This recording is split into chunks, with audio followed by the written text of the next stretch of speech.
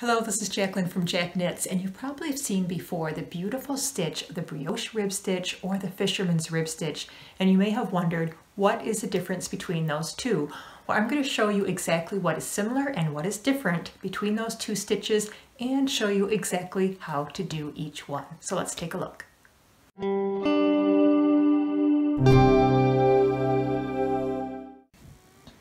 So let's take a look at both the brioche rib stitch and the fisherman's rib stitch. You may have seen many videos on YouTube about these two stitches because they are such a beautiful stitch. They've got these beautiful elongated stitches, these deep crevices of purl stitches. It's the same on both sides of the fabric. They are just beautiful to knit up. So what is the difference between the two? Well, let me bring you in on a little secret. The end result of both of these stitches is exactly the same. They have the exact same look. See the elongated stitches and the deep crevices of the purl? The stitch look at the end is exactly the same. But the difference is the stitch on how to get to this final stitch. So I'm going to show you exactly how to do both of these stitches and you can determine for yourself which one you prefer. Now you can see there is a little differences on both of these swatches and basically it is with the fisherman's rib, which I did here in the white. The brioche rib is in the red. The fisherman's rib is a little bit of a tighter gauge for my knitting. It is a little denser uh, fabric. The ribbing is a little bit closer together than what occurred up here on the uh, brioche rib stitch. So there might be slight differences in the gauge, but the look is exactly the same. And again, one stitch might be easier for you to do, um, may knit up faster than the other one, so experiment with both of them and see which one you prefer. So let's take a look at how to actually do each of these stitches, and then you can experiment and find out which you like best. All right, let's take a look at how to do the fisherman's rib stitch first. I'm going to show you with a swatch of both stitches with a worsted weight yarn, so we just have a little comparison with what they look like compared to the bulky weight. And for both swatches, let's cast on a total of 14 stitches.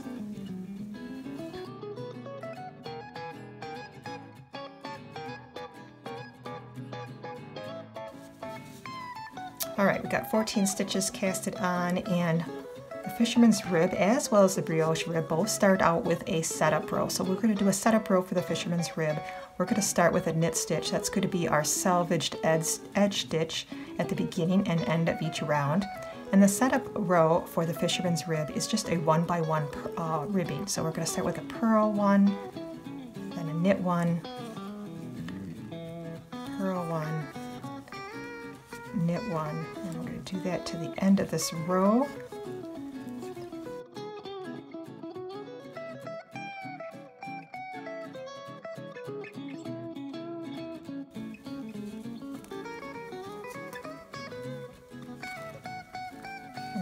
With a knit stitch. All right, the first row for the fisherman's rib stitch is actually just a one row repeat, so you're just going to continue with this row uh, continually. But again, we're going to start with our knit stitch. And then the next stitch you see is a purl stitch here with a bump, so we are going to just purl that purl stitch.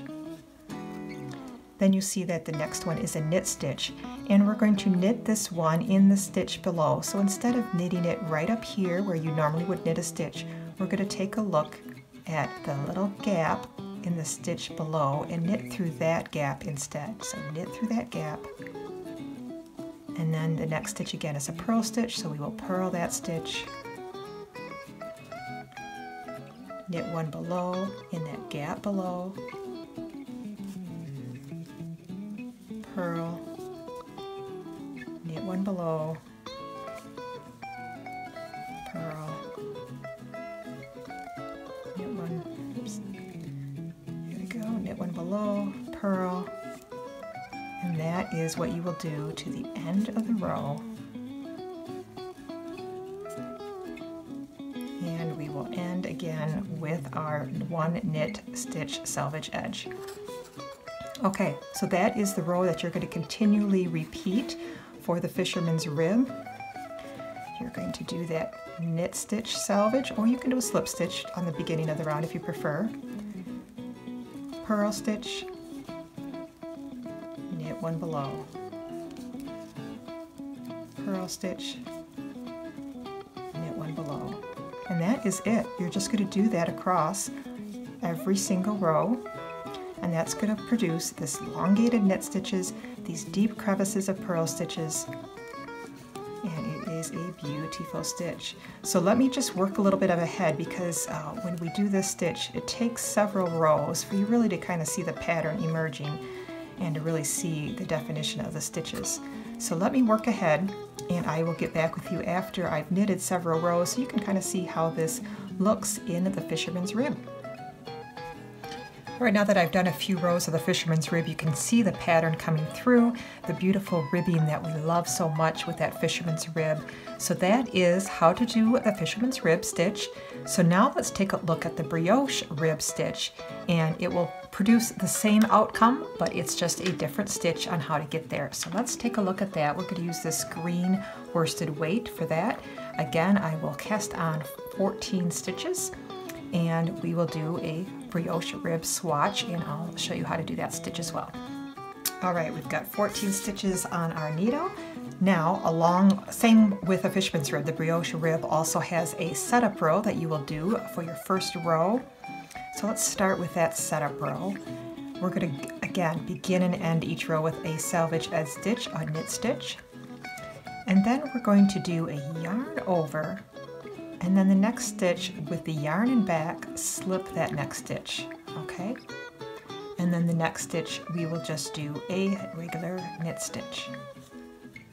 Let's do that again. Yarn over, slip that stitch as if to purl with the yarn and back, and then a knit stitch.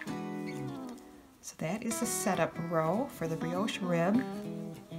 We'll do that till the end. Yarn over, slip, knit, yarn over, slip, knit, and we will end with a regular knit stitch. Okay, so that is our setup row. Now we are ready to begin the brioche stitch.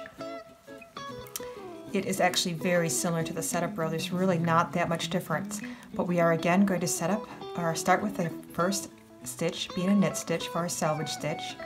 Then we're going to do that same two-step repeat of the yarn over and with the yarn and back slip that first stitch. So see that little, it's one single stitch. We're going to always slip that single stitch after we do the yarn over.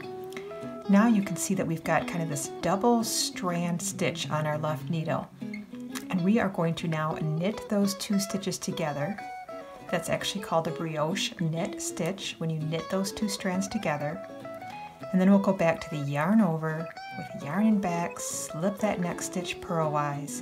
And here we've got that double strand again, which we will knit two together, knit those two together, the brioche knit stitch, and repeat those two steps. So yarn over, slip with yarn and back, knit those two together. Yarn over, slip, and knit those two together. Yarn over, slip, brioche knit, which is those two together. Yarn over, slip, brioche knit, and we will end again with a knit stitch. Okay, let's just do a few more stitches on the next row together, and then as I did before, I'll work ahead so you can kind of see how this stitch shapes up. We're going to start with our knit stitch, yarn over, with yarn and back, slip, and brioche knit.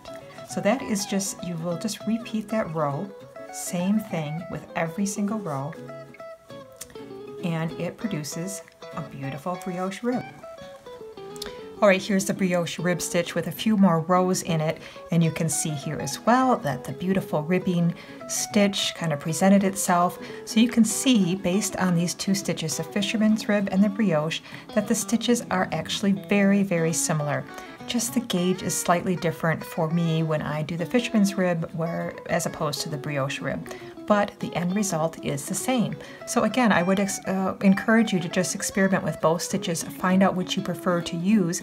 I think that I knit quite uh, quicker with the brioche stitch than with the fisherman's rib. There's no purling in this as there is in the fisherman's rib, so it's really a matter of preference, but they both make a beautiful stitch.